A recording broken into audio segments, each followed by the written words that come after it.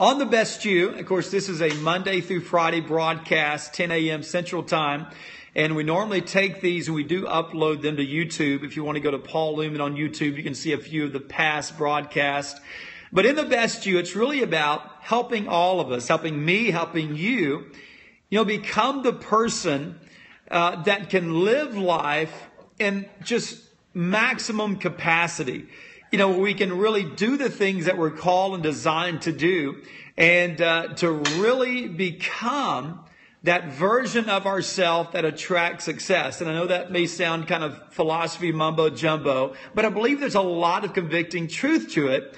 Uh, we can, we can become higher, better versions of ourselves and remain authentic and real in the process. So this morning, we're talking about how to inspire others. We talk a lot about leadership development, certainly personal growth and development on this broadcast. And, uh, you know, inspiration, inspiration is one of those topics, I think we hear a lot about it. You know, this inspired me. I read a book that inspired me. I sat in a uh, I sat in a church service and the speaker inspired me. I was having a conversation with a friend over lunch and the conversation inspired me. Maybe I, I watched a television show and the content inspired me. You know, I think one of the primary traits of great leaders is their ability to inspire others. Would you agree with that? One of the primary traits of great leaders is their ability to inspire others. Now, here's what I know for a fact. And you probably know this, and if you don't, you're learning this. You can't make anyone produce better results. You just can't. You can't force an excellent spirit. As a matter of fact, one of the most frustrating classes you can ever take is demanding someone to improve from the inside simply because of your position or your title. Fact is, they won't do it. They simply will not do it. If you're leading an organization, we have a lot of people on that are in network marketing or multi-level marketing. And uh, we understand that all of our success is tied to success of individuals inside of that organization. And man, you wish, you wish that you could just take someone and force them to be successful. And sometimes you want it more than they do. You talk about a frustrating class to take, demanding that someone be excellent, demanding that someone be productive and have excellence from the inside out. They simply won't do it just because you want them to do it. Here's the fact. Personal growth is what? It's personal. Personal development is personal. And at the end of the day, individuals create their own designs. We all create our own stories. We are the CEO of our own lives. We hear that said all the time. And if someone in your organization, if someone in your family, whether it's your children or maybe even your spouse, you know, if they're going to produce better results, it's because they've made a decision to produce better results. Someone in your team, if they're going to reach peak performance, it's because that individual, something clicked in their mind and they deliberately created some action, changed some mindset to the degree that they created peak performance. You can't do it for them. You just can't. And it's frustrating for them and for you if you continue to try. But all that said, great leaders have learned a secret that managers have yet to grasp. And here it is. Great leaders have learned to inspire. They've learned to inspire. You can't do it for them, but great leaders inspire others. They inspire others to dream. Great leaders inspire others to form uh, better habits. They inspire others to push beyond boundaries. You know, people have left the streets because of inspiration.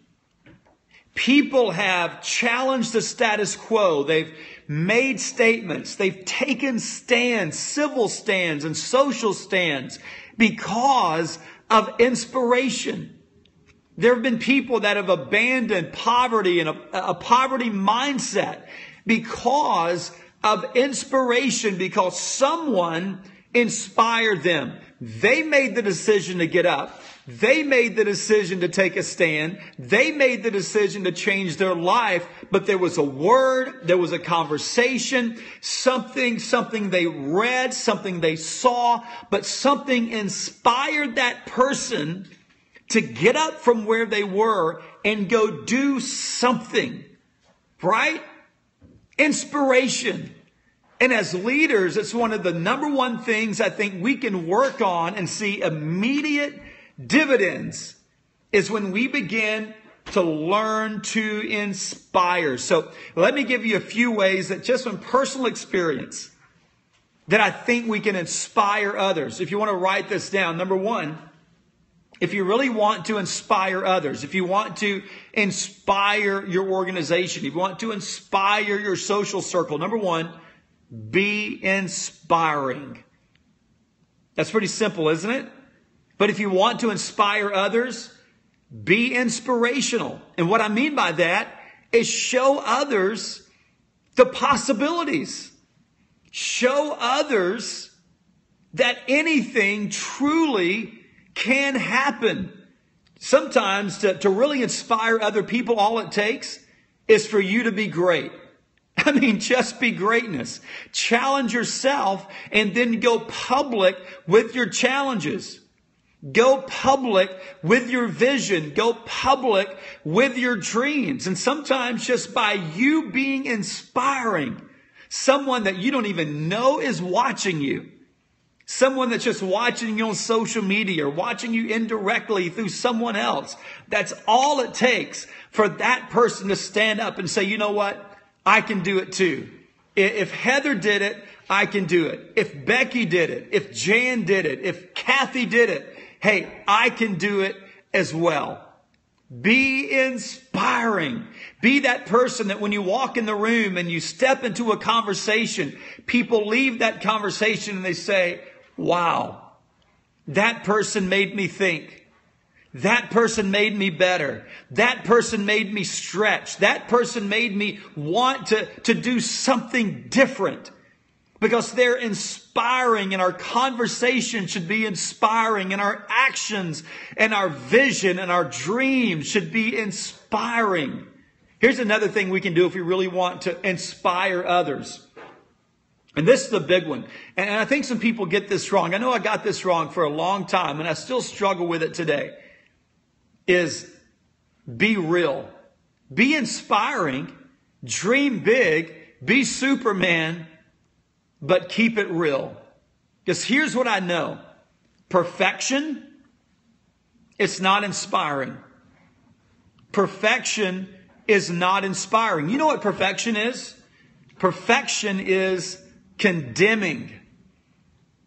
Because people will look at you and say, wow, I would love to live that kind of life. I would love to take those types of risk.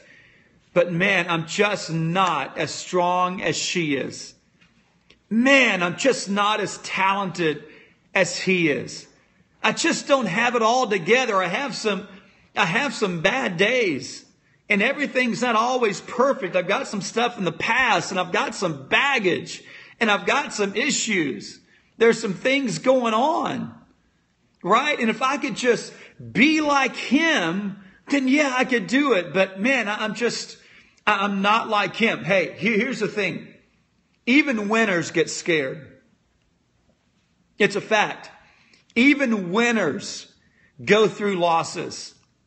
Even winners have tough days. They have blue Mondays or Black Fridays. And here's the thing. If you really want to inspire others, get out there and be greatness and dream big and proclaim it, but also keep it real and be authentic and be honest about the entire path because that's relatable. And what you're looking to do in inspiring others is to create a relatable journey where someone can see your journey and they're provoked to bigger dreams and better actions, but in a way that they say, I can do it too. I can do it too. If you're a Christian, you understand the power of the life of Jesus Christ, right? He was man and God. So he had flesh and tempted like we were, right? That's part of that great story. Same way in our own leadership. We have to be flesh. And we have to have emotions and we have to go through struggles. People have to know that they can relate to our journey. Be real. Share your stories. Tell your story. Tell your story of how, you know, how you, how you came out of so much fear and so many limiting beliefs, but you overcame and how you failed, but you got back up, how you stumbled, but you didn't quit. Friend, that is inspiring, much more inspiring than someone wearing a mask and being perfect all the time. Hey, here's the third thing. I'm going to give you four today, but here's the third one. If you want to be inspiring, be life giving. Be life giving. One of my favorite uh, connected words. Be life giving. What do I mean by that? speak life into the destiny of other people. Because the world is always speaking fear, right? And there are people in our lives that are always criticizing and they're, they're, they're pushing down our faith and they're minimizing our dreams. Well, be the person that speaks life into other people, that speaks life into those daunting dreams because they're scared.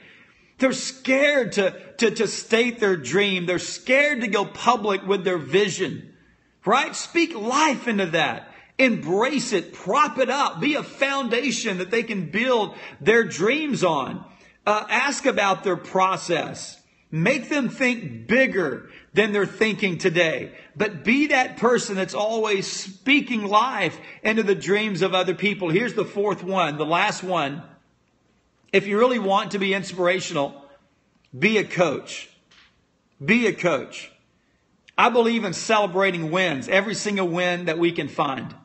Celebrate a win. But you know what? There are cheerleaders out there. And, and I'm not advocating that anyone be a cheerleader because cheerleaders cheer everything. You know? They're just out there cheering. I was at a fo- football game last night for middle school and uh, I thought it was so funny. The other team scored. And man, our, our little cheerleaders, they were so cute. Man, they were cheering like crazy. And the other team just scored. And, uh, and they're leading the fans in a cheer. And I'm thinking, wow, they're just cheering over everything. I'm not saying be a cheerleader. I'm saying be a coach. Because a coach, they're going to celebrate you when you do something right. They're going to slap you on the back. They're going to say, great job. But they're also going to be there to push you. They're also going to be there to challenge you, to make sure that you're giving your very best. If you want to inspire other people, be a coach, celebrate wins and calibrate losses.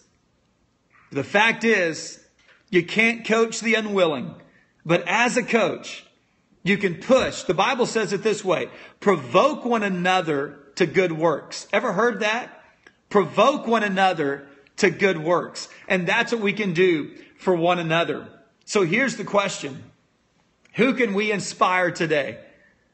Right? Who in our world can we go inspire today? What family member, what friend, what coworker? Who, on our team can we go and inspire today? And, and what story have you lived that if shared would inspire others? What have you been through?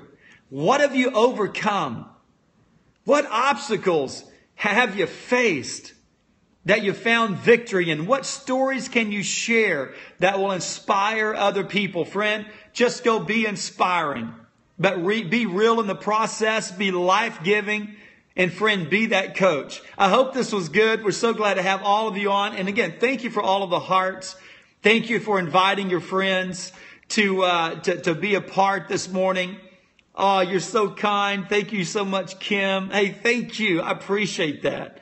Thanks so much.